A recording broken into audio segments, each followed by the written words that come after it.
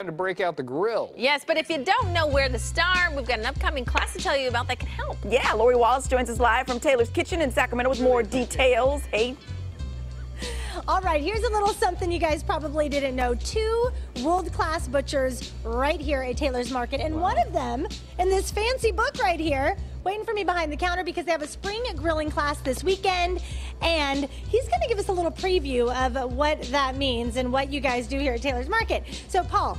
Uh, the World Butchers Challenge. Yes. You and Danny, two of the butchers here, uh, you guys were a part of that, and you guys are a pretty elite group. Yeah, so we competed last year in Ireland. There was 12 countries. We placed six out of 12, which we were very happy with.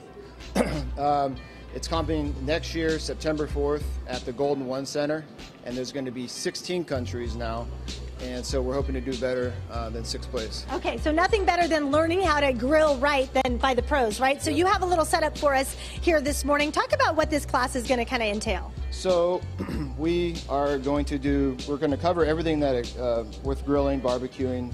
Uh, we cover some smoking. So we have a lot of questions about temperatures, indirect, direct. Um, so we like to cover pork, beef, lamb. We go over some poultry, a little bit of seafood. So I got a couple things just real quick for you guys. These are hanger steaks. There's only one on an animal. They're very, very flavorful. You got to cook them medium rare, marinate them overnight. Um, you can even do just a basic salt and pepper. Uh, another cool thing that people like are these are pork tenderloins, and we wrap them with applewood. Always got to add the bacon. So we wrap bacon around it. Uh, obviously, be cautious, but we do put a toothpick here in the middle. So that's a nice little treat for the barbecue.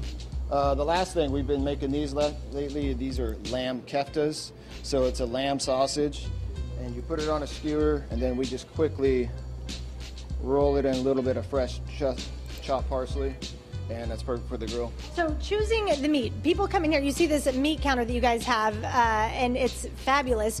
What are some of the mistakes people make? Because I know they come in here looking for advice when they're hosting a barbecue or some kind of family dinner.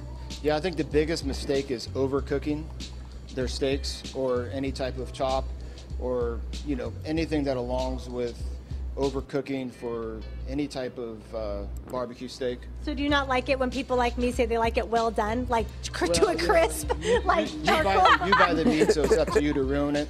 So if you want to ruin it, go ahead. I ruin it every time. I know. I, butchers don't like to hear that. And Yeah. Certain steaks that you can actually overcook, but we always suggest you know medium rare, medium. So. Okay, so the grilling class, now this is just one of a lot of different classes you offer, so people can check your website. You guys have classes going on all the time. Yes, so actually this Saturday is our grilling class. It's forty dollars. It's about a two and a half hour lecture class. Um, we we provide scones and coffee in the morning, two and a half hour lecture class followed by lunch, and you basically can ask any question you want. And at the same time, we're going to be teaching a hands-on hog class that is about a three-hour class. Two uh, two butchers, four students. You break down a half hog, and you take home forty pounds each of that hog. Wow, there's all your grilling that you need for, the, for this summer. All right, guys, Taylor's Market, check out their website, all the classes you can find there. I'll send it back to you. I like all my meat well done, crispy charcoal, pretty much still on fire when it comes on my plate. He's over there shaking his head. I know. I'm Oh, sorry. man. Lori. so funny. Thank you so much, Lori. We'll pay for the product, not the package. The local co-op helping you go green in the